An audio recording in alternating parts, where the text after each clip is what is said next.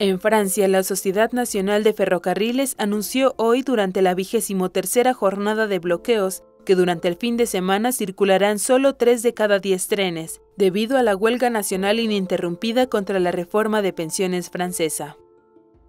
En la víspera de Año Nuevo, la compañía ha anunciado que el tráfico ferroviario seguirá interrumpido con 45 y 50% de trenes de alta velocidad en circulación, tanto para el lunes como el martes, y para el 1 y 2 de enero será de 35 y 50% respectivamente. Desde hace casi tres semanas el país está paralizado y la situación continuará este fin de semana, pues planean mantener los cortes en el sistema de transporte como medida contra la reforma planteada por el Ejecutivo. Los trabajadores consideran que la reestructuración planteada por el equipo de gobierno actual es injusta y ataca sus derechos, en la actualidad, el sistema de pensiones francés es un modelo complejo que tiene diferentes modelos de jubilación.